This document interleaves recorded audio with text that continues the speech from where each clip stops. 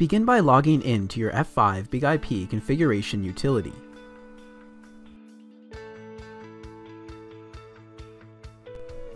On the left-hand menu, go to System, File Management, SSL Certificate List. On the top right, select the Change button. Here is where you will create your certificate signing request. Under General Properties, provide a name for your certificate.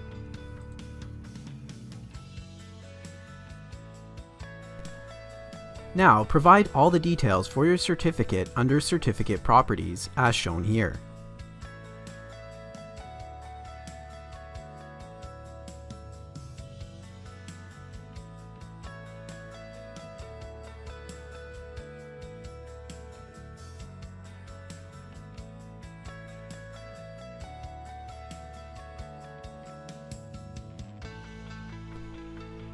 Select the Finish button when you are ready to move on.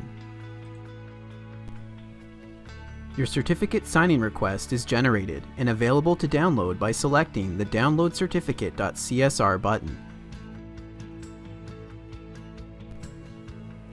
Save the file to a memorable location to be opened with Notepad or any other word processing software.